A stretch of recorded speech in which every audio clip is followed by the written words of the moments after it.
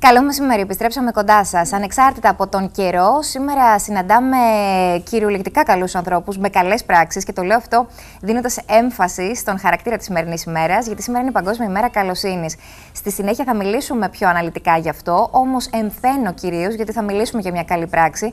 Καλή πράξη και κυρίως με αποτελέσματα με πράσινο χαρακτήρα προς το περιβάλλον, με δεντροφύτευση και με το ετήσιο από ό,τι φαίνεται κάλεσμα από τον Πολιτιστικό Σύλλογο Κορφών Μαλεβιζίου και τον πρόεδρο να είναι σήμερα κοντά μας για να μας πει περισσότερες λεπτομέρειες. Ο Γιώργος Κουτάντος είναι εδώ, του λέω καλό μεσημέρι. Καλό μεσημέρι. Χαίρομαι πολύ που συναντιόμαστε για τέτοια νέα και με τέτοιο λόγο. Ευχαριστούμε πολύ για την πρόσκληση και χαιρόμαστε που βρισκόμαστε και εμείς να προβάλλουμε τη δράση μας. Και είναι σημαντικό να προβάλλουμε τη δράση αυτή, γιατί α, σημειώνεται για έκτη συνεχή χρονιά. Σωστά. Έκτη συνεχόμενη χρονιά, σε συνεργασία έτσι με τους φορείς. Προσπαθούμε κάθε χρόνο να βάζουμε και εμείς το λιθαράκι μας και να σεβόμαστε το περιβάλλον.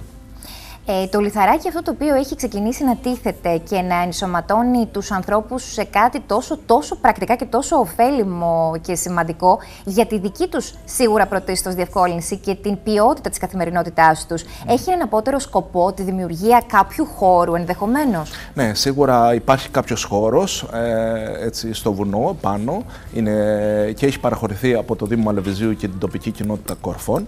Ε, έχουμε φυτέψει πάνω από 500 δέντρα, τα οποία τα έχουμε περιφράξει και τα, τα λαστιχώνουμε ε, ναι, με νερό, τους, ώστε να, να έχει και αποτέλεσμα. Άρα ευελπιστούμε μακροπρόθεσμα να έχουμε έτσι ένα δασικό πάρκο και να το, το χαίρονται και η κοινωνία του χωριού, αλλά και όποιος άλλος σύλλογος ε, θέλει να το επισκεφτεί για φυσιολατρία, αλλά και να επισκεφτεί γενικότερα την περιοχή των Κορφών.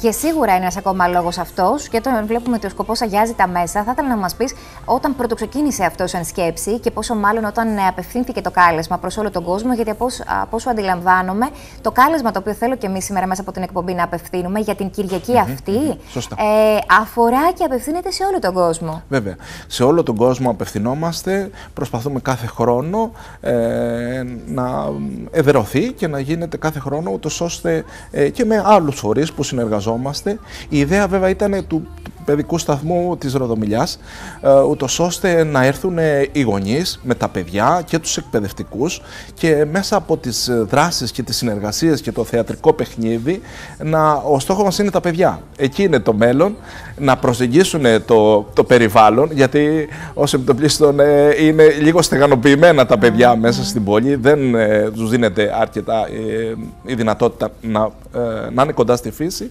άρα εκεί στοχεύουμε κι εμείς. Στα παιδιά. Στα παιδιά, γιατί τα παιδιά είναι το μέλλον και όντως είναι τα σποράκια, είναι αυτοί οι μελλοντικοί ενήλικες, οι προσωπικότητε οι οποίες χτίζονται α, και τίθενται οι βάσεις, αν μη τι άλλο. Όμως, μεταξύ των άλλων, όχι μόνο είναι σε ένα στεγανός επιτοπλίστων περιβάλλον λόγω της πόλης και του τοπίου και των ρυθμών της καθημερινότητας όλων των περισσότερων, νομίζω, οικογενειών, είναι και ένας άλλος τρόπος βιωματικά να έρθουν σε επαφή με έννοιες όπως είναι το περιβάλλον, όπως είναι η κλιματική αλλαγή, όπως επίσης και από το τι μπορεί να κάνει ο καθένας από εμάς για να βοηθήσει και να αλλάξει τη σελίδα αυτής της πολλές φορές ανισορροπής κατάστασης που βλέπουμε και εντοπίζουμε με ανισορροπίες, θέλω να πω, που εκδηλώνονται κλιματολογικά και περιβαλλοντικά. Από εμάς τους ίδιους. Επαφή, από εμάς τους ίδιους.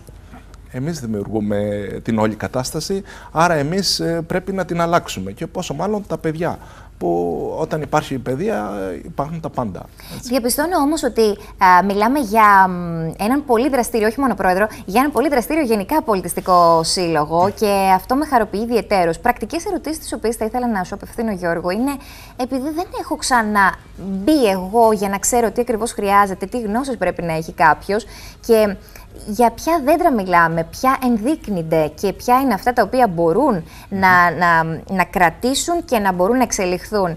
Φαντάζομαι ότι υπάρχουν είδη τα οποία όσο επιτοπλίστων επιλέγονται, έτσι δεν είναι; Σωστά. Μας βοηθάει σε αυτό το κομμάτι το δασαρχείο, που το ευχαριστούμε που κάθε χρόνο διαθέτει αυτά τα δεντρίλια και είναι ανάλογα και το μικροπεριβάλλον της περιοχής. Οπότε μιλάμε για κουκουναριές, μιλάμε για κυπαρίσια, πρίνο, βελανιδιές, ε, χαρουπιές ε, ως επιτοπλίστων εκεί επικεντρωνόμαστε, σε αυτά τα είδη. Παίζει ρόλο, φαντάζομαι, και το υψόμετρο και το χώμα. Είναι πράγματα τα οποία ε, γνωρίζετε εσείς καλύτερα που εμπλέκεστε με αυτή τη διαδικασία. Ναι. Αλλά παίζει ρόλο να γνωρίζει ο κόσμος και πρακτικά ζητήματα. Α πούμε, σπουδαιότητα, σημασία, πόσο Μεγάλο πρέπει να είναι, σε τι βάθος, πόσο μεγάλο να είναι το επιφανειακό κομμάτι. Ναι. Υπάρχουν κάποιοι γεωπόνοι που συνεργαζόμαστε κι εμείς και προσπαθούμε να μας δώσουν κάποιες κατευθύνσεις, ούτως ώστε να μπορέσουμε κι εμείς να, να τα συντηρήσουμε. ε, ε, παράλληλα, ξέχασα να πω ότι βάζουμε και βότανα. Έτσι. Ρίγανη, θυμάρι, ε, δέντρο Οπότε, ε, σαν να λέμε ότι γίνεται ένα θεματικό πάρκο με πληθώρα. Αρωματικών φυτών και βοτάνων. Έτσι, όλων έτσι, όσων έτσι. μπορούν και βγάζει η κριτική γη και όλων, όλα εκείνα που μπορούμε να εξελίξουμε. Θαυματουργά. Και στο κομμάτι της υγείας. Τι ωραία πράγματα, τι ωραία μηνύματα.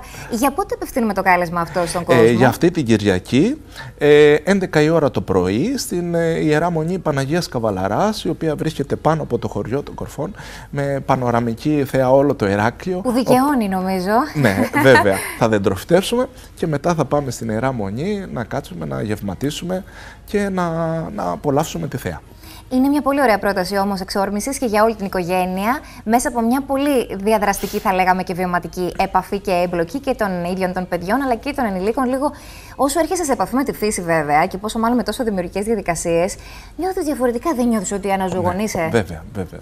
Βέβαια. Με την πρώτη ευκαιρία κανείς πρέπει να, να προσεγγίζει τη φύση και είναι όντως ναι, αναζωογόνηση. Γιατί εδώ μέσα στην πόλη όσο να είναι ε, δεν είναι και καλύτερο. Σίγουρα. Τα πράγματα είναι πολύ διαφορετικά. Ναι. Γι' αυτό και εμείς κάθε φορά που μας δίνει τη δυνατότητα, ιδίως το Σαββατοκύριακο, θα πρέπει να υποφελούμαστε αυτής της δυνατότητας και της ευκαιρίας και να βγαίνουμε και να ανακαλύπτουμε και όμορφα ειδικά μέρη του τόπου μας. Ειδικά εδώ στην Κρήτη υπάρχουν πάρα πολλές επιλογές, αρκεί κάποιος να, να τα ψάξει. Μάλιστα. Χάρηκα πάρα πολύ. Και εμείς ευχαριστούμε πολύ. Πολλά μπράβο για τις δράσεις σας και για τις πρωτοβουλίες σας. Να είστε καλά. Ευχαριστούμε πολύ. Ευχαριστούμε.